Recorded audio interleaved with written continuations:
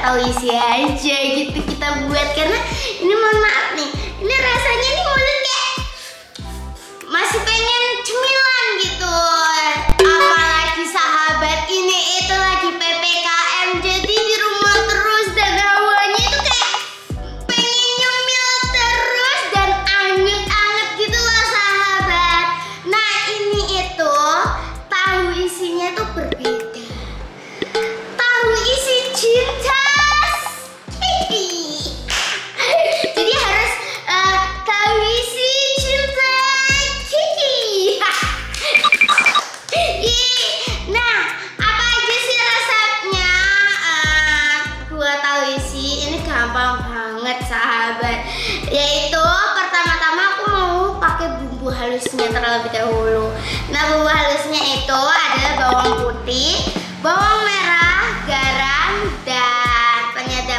Nah, nanti setelah itu dimasukinlah eh, ini apa namanya wortel, tauge, bihun, sama eh, daun bawang dan tepung, serta yang utamanya adalah tahu po.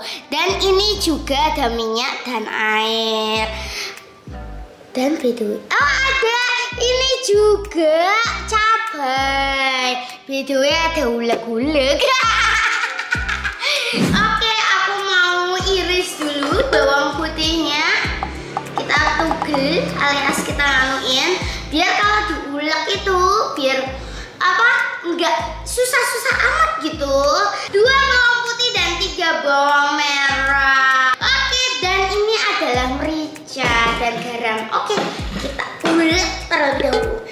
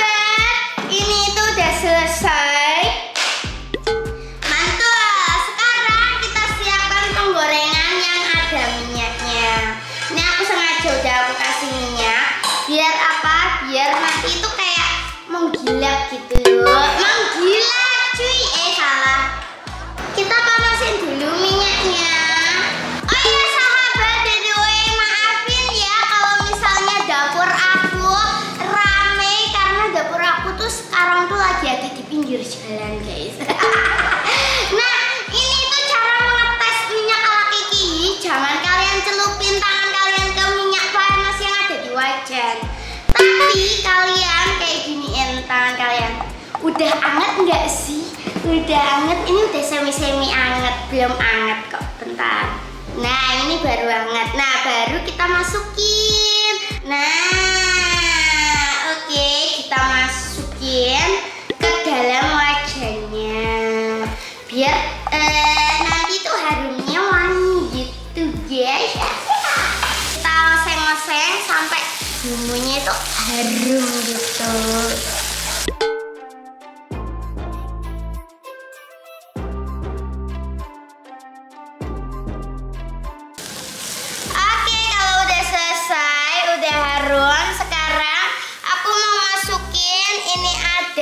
Wortel.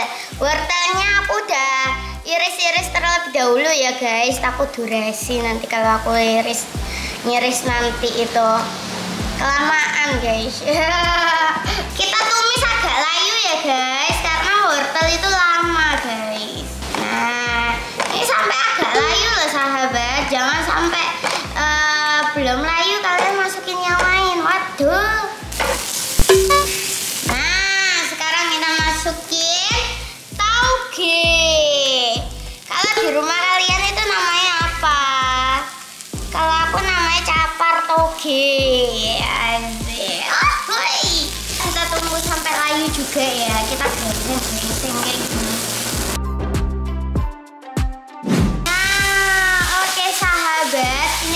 lumayan agak layu.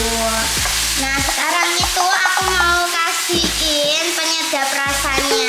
Uh, mubal-mubal gini anu nih. Hmm, saiki ae. Bukan emang, tapi aku emang nggak suka yang terlalu asin. Gimana gitu. Oke, setelah bumbunya oke nah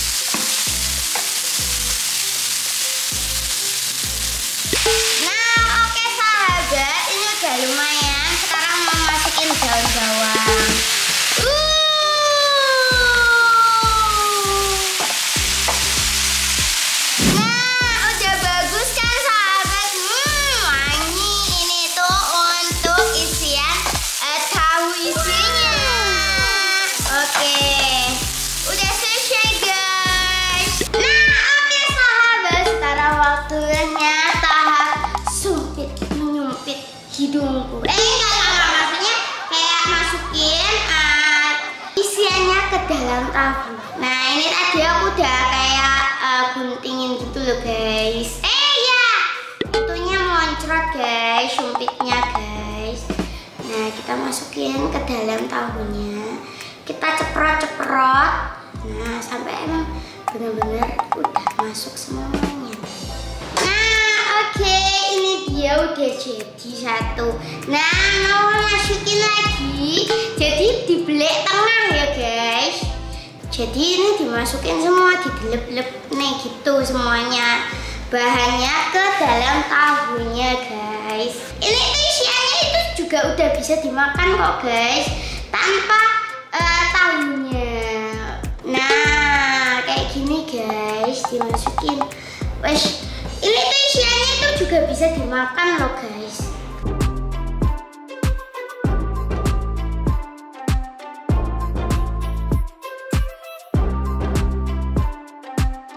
Nah, oke sahabat, akhirnya selesai juga. Ini yang terakhir sahabat. Kita masukin, kita delep-delepin dan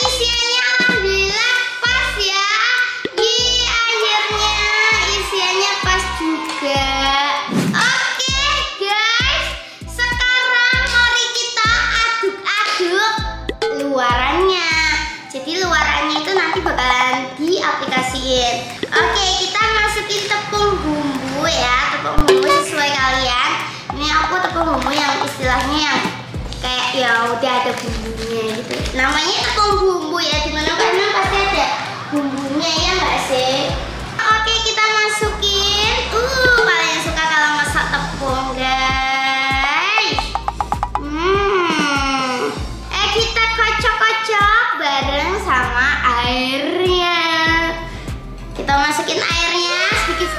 Paling suka nih tahap pengocokan nih guys. Dulu nenek aku tuh disuruh aku disuruh ngaduk tepung tuh paling oke. Oh iya iya. Jangan lancar-lancar, tapi juga jangan kental-kental. Nah, gini ya sahabat. Jadi nggak terlalu encer dan nggak terlalu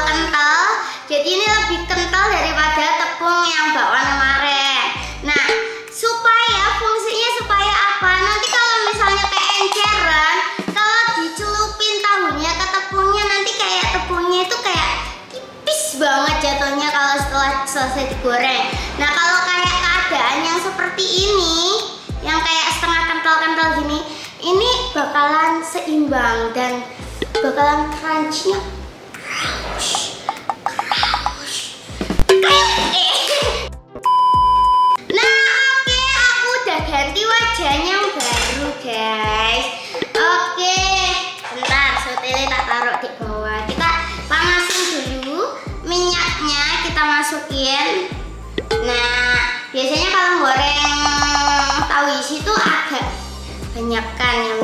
Jadi aku taruh semuanya.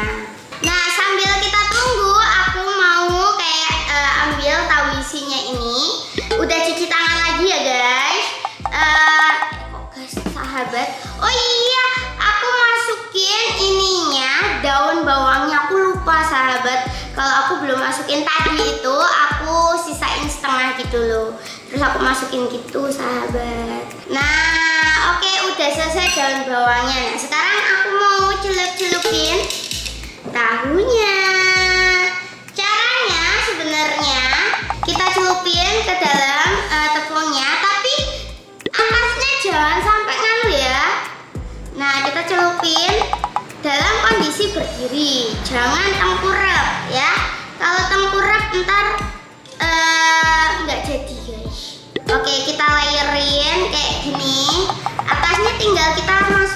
Aja gitu. Setelah selesai, ininya kita angkat dan mari kita goreng. Oke guys, setelah itu kita ambil lagi, kita masukin.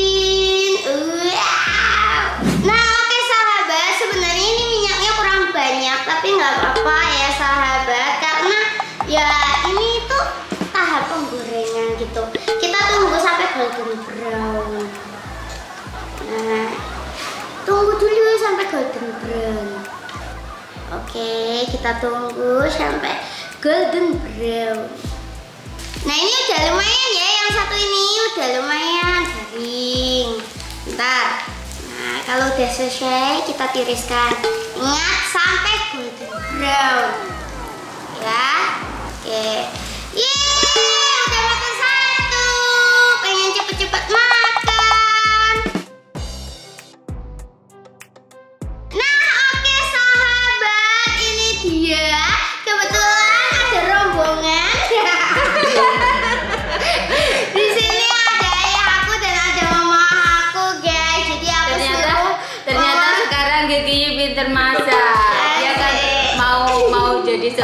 Istri soleha jadinya dia itu sekarang udah belajar masak pinter mesti kalau aku Oke sahabat, ini dia aku udah buatin nih untuk mama aku dan ayah aku nih. Nih guys. Dari aromanya aja sudah tercium. oh loh Oke. tapi, tapi kamu kan nggak ngerasain kemarin itu dia itu bikin oh ngerasain udah malam ya udah Udah dingin malam, udah ketika dingin. udah jadi baru jadi itu oh rasanya Apa? Oh yang bakwan itu, uh enak banget itu. Pokoknya dia kan anak-anak tersayangku. Jadinya dia tuh kalau masak apa-apa mesti mama, mama, ya gitu. Ah, ini sekarang tuh aku dibikinin tahu isi. Iya. Lagi harus di rumah. Terus gitu.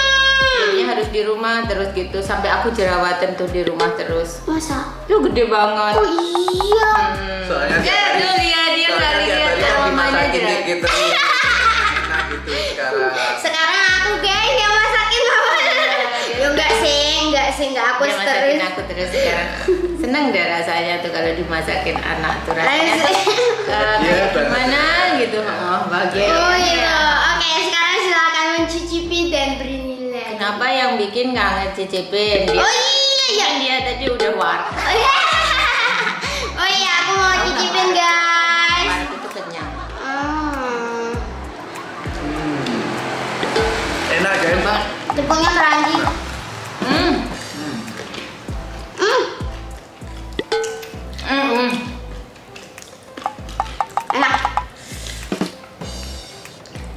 asli enak banget Enak Enak nggak? banget asli enak banget nih. Masakan asli enak banget masakan ini enak banget.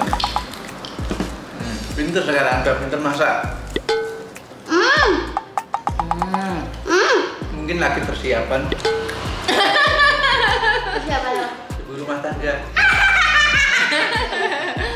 serba bisa ya Hmm. kayak gitu cuma Enak, dia nggak bisa apa belum ngasih aku cucu ini kan persiapan dia. Gimana nilainya? mesti dinilai namanya masakan Gimana nilainya 1 sampai 10? namanya masakan anak apalagi Pasti anak semata wayang itu udah nggak ada nilainya nggak terhingga Masa? Iya ini. Serius? antara bahagia senang dan apa itu anak jadi untuk hitungan 1 2 3 4 5 6 itu udah eh, nggak ada nggak ada anu apanya gitu nggak ada batasnya gitu. Oh, oke oke. Next time kira-kira mama mau aku masakin apa? hmm dan sungguh Iya. sungguh Nah, aku ingin kamu masakin jajan tahu jajan mm, Jajan jajan itu. jajan itu yang khas zaman dulu yang kuno gitu loh istilahnya itu ketika mama kecil itu dimasakin oleh mbah kamu gitu Oh Jadinya iya yang kan sering kamu- masak ya Mbak Nah, kan Putri itu. kan dari kecil kan kamu diasuh sama mbah tentunya kamu tahu mbah itu sering masak apa gitu Insya Allah. Iya. Next time aku bakalan masakin. yang sudah